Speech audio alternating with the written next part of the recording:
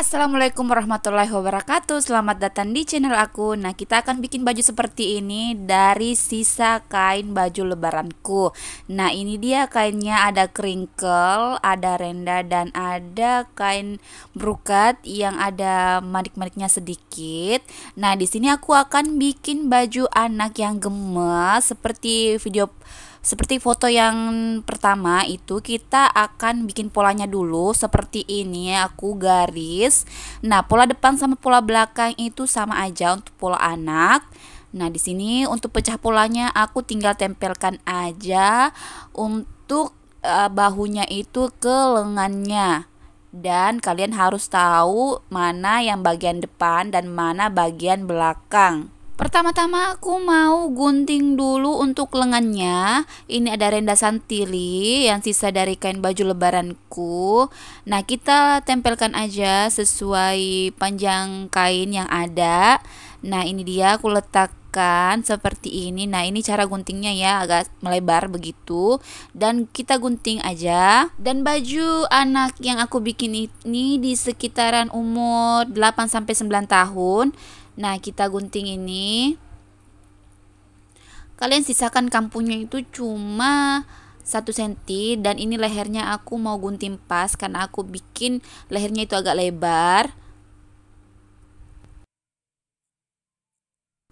Untuk cara lengkungannya ini seperti ini aku guntingnya ya.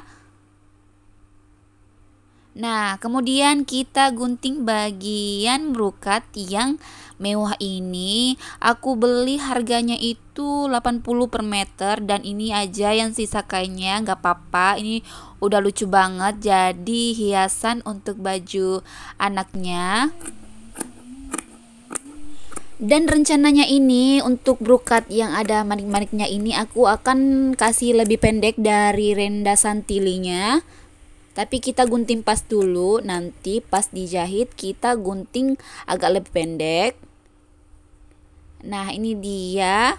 Rencananya sih aku mau cuma dua lapis begini tapi takutnya terlalu seksi dan untuk depannya ini aku mau gunting dulu kain crinkle harganya 25 per meter dan ini dan pola badan depan dan pola badan belakang itu sama aja dan dibedakan dari kerung lehernya seperti ini kalian bisa lihat. Nah, kita akan gunting sesuai polanya. Kita gunting di bagian bahu seperti ini. Dan bagian belakangnya kita sisakan untuk resletingnya 2 cm. Dan untuk lengannya aku akan gunting juga pakai crinkle biar nggak terlalu seksi seperti ini. Dan setelah dijahit jadinya seperti ini, ini udah kelihatan kan lucu banget di bagian lengannya. Setelah itu kita lanjutkan untuk jahit sisinya. Nah, kira-kira seperti ini kalau sebelum dijahit dan juga dijahit kelim untuk bawahnya. Seperti ini aku dua kali jahit biar lebih rapi dan lebih kecil.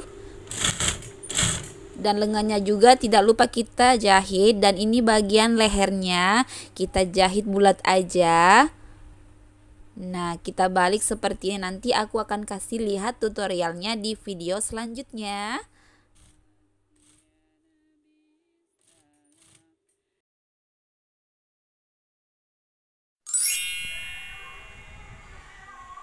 Wah, jadinya lucu banget kan? Ini bagian lengannya yang bikin manis banget modelnya.